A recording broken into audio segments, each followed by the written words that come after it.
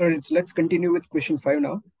We are having a point A with 7 comma 12 and there is a point B whose coordinates are not given and both of these points are lying on a circle whose center, basically this is the center of circle minus 2 comma 5.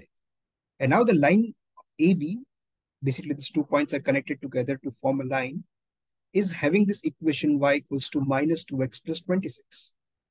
And now we have to go ahead and find the coordinates for the point B. Hmm, interesting. So what we can do is we can form a circle. See, I always ask you all to draw this kind of stuff in order to get an idea of what to do. Okay? Whenever you are stuck, if you're not having any kind of ideas, draw some kind of visualizations and you will be having a lot of ideas of what to do. And if one of the ideas don't work, quickly shift to the second idea if you're having. Right? So that's something that you should go uh, in the examination. But coming back to this question, let's say this is a cir uh, circle with the center over here as minus 2 comma 5 and point A 7 comma 12 let's say somewhere over here is point A. And uh, for example let's say point B somewhere over here. I can keep it anywhere I want but let's it's over here. And now if I'm drawing a line that connects this A and B and this equation is given to us as y is equal to minus 2x plus 26 and we are asked to find this point of intersection. So now because we know that this equation is intersecting with the curve, I mean, uh, with the circle, we just need to find what is this equation of a circle. And that's it. We can equate the circle with this line to find this particular coordinate. So for that, we'll have to find the equation of circle. See how easily we got an idea by just drawing the diagram. Because we know that this is a point of intersection. What do we want? We want the equation of circle so that we can equate this line with that circle. So now how do you find the equation of circle? It's uh, x minus the minus 2, then square that plus y minus 5 square that, it's equal to the radius of the circle squared. Now, what is the radius over here? How can we find the radius? So we can know that we first of all know that center and the point on the circle, if we connect them, the distance between them is nothing but the radius of the circle. So finding the radius of circle is nothing but the distance between these two points, that is the center and A so let's say that I'm finding, first of all, the equation of circle is given by x minus h square plus y minus k square equals to r square, where h and k represents the center of the circle, r is the radius. So I don't really need the value of r, I need the value of r square. So how can I find this r square? Nothing, it's a very simple uh, point, uh, distance between two points. So r square is equal to the difference of x coordinates, that is 7, minus of minus 2, that becomes plus 2. I will square that and add it with the difference of y squared, that is 12 minus 5. Remember, the order should be same. It, if, if I'm doing 7 minus minus 2, I cannot do 5 minus 12, but it's still fine because we are squaring it at the end of the day. So in this particular case, it does not matter. So anyhow, we are having 12 minus 5 whole square and the value of this, if you take your calc and find it, let's see what do we get. So we are having 7 plus 2 square plus 12 minus 5 square. And the answer is coming out to be 130. I can take the under root of this or the square root of this to get the value of r, but that's not really required because we want the value of r square, not r. Okay. And now if I try to form the equation of circle in this case, therefore, I am having something like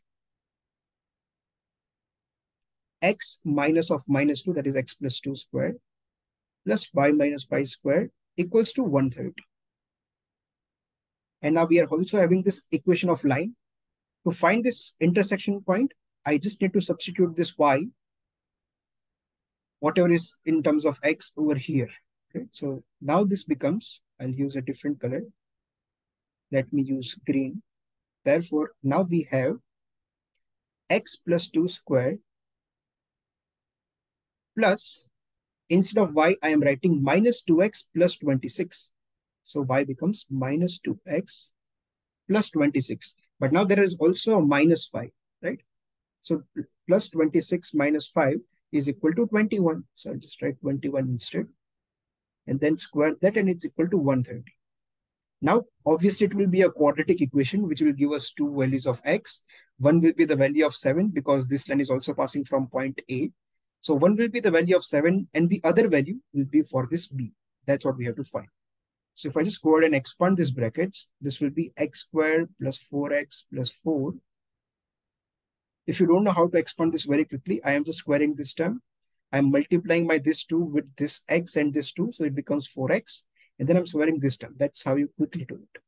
So now minus 2x square, if I do it, it will become 4x squared. And if I multiply by this minus 2, this uh, 21 and 2 over here together, I get minus 84x. And then what is the square of 21? If you use your calci, it will be plus 441. And this is equals to 130. Now let me just convert it into the final quadratic equation with x squared term, x term, and a constant. So there are two x squared terms. So 4 plus 1 is 5, so it becomes 5x squared. Then 4x minus 84x, so that becomes minus 80x. And the constants are 441 plus 4, which is obviously 445. There is also minus 130 to it, right? So we need to do minus 130 to this. So it becomes 315 instead. And this is all equal to 0.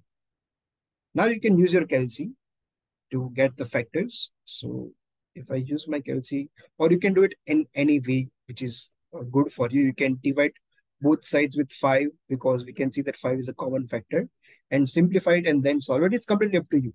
But I'll be simply going ahead using my calci to get the factors.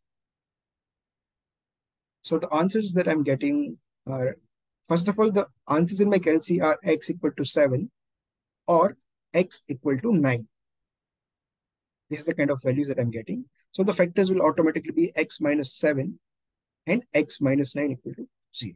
So that's how we get the answers. And we know that this is the coordinate of A. So this must be the value for B. So B is uh, actually, the X value of B is 9, right? So that's the uh, thing that we have got. But now, because we are asked to find out the coordinates of B, you will not get one final mark if you are just saying that X equal to 9 is your answer. So now we need to just substitute your x in maybe the equation of circle or maybe the equation of line, whatever suits you the best to get the y value. So I'll just say that it's xb.